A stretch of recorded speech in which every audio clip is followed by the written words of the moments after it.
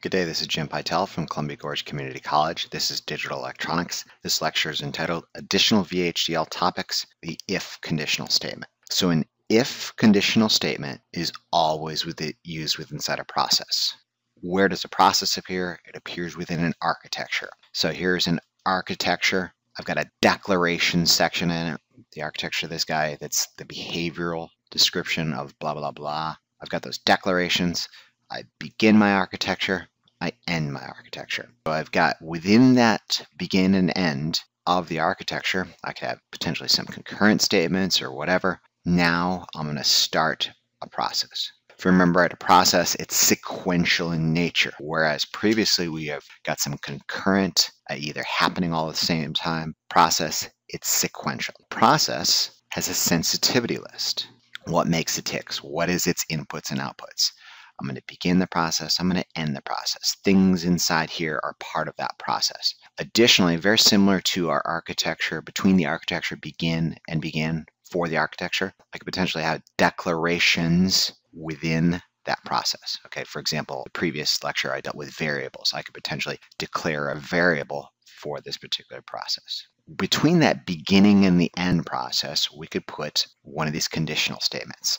And the one that we're going to talk about today is an if conditional statement. There's three types of if, and we're going to go over all three of them. And the example I use is those fire axes behind the glass in, for example, a public building or a dorm. What is the words on the side of those glass boxes with a fire axe inside? It says, in the event of fire, break glass and swing wildly. So it's a condition. You know, if there's a fire, break the glass and swing that axe wild. If there's no fire, don't break the glass and don't swing it wildly. So that's what a if statement is. If this condition is true, then do this. End the if. And that's exactly what VHDL uses. Exact same syn syntax. If this condition is met, then do this expression. End the if. That's, by the way, within that process. Okay. If that condition is not true, then don't do that. And what is that condition?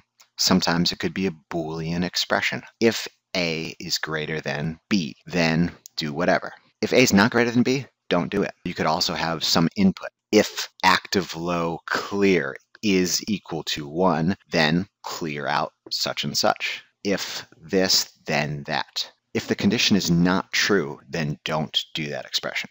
Okay, so that is the simplest, simplest version of an if statement. Okay, there are other ways I could potentially do this if. What if there was two choices? If this condition is true, then do that expression. Else, evaluate another expression. Okay, so that's the second type of if. It would look like this. If this condition is true, then do expression one else expression two. Okay, that's two choices and only two choices.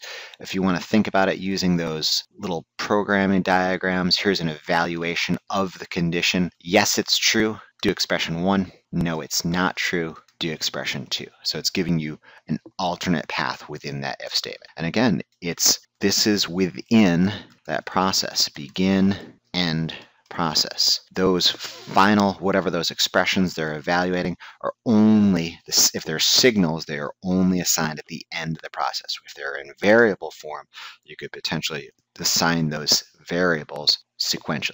And we'll go into this when we get into some for loops a little bit later. Is there only two paths? No, sometimes there's multiple paths.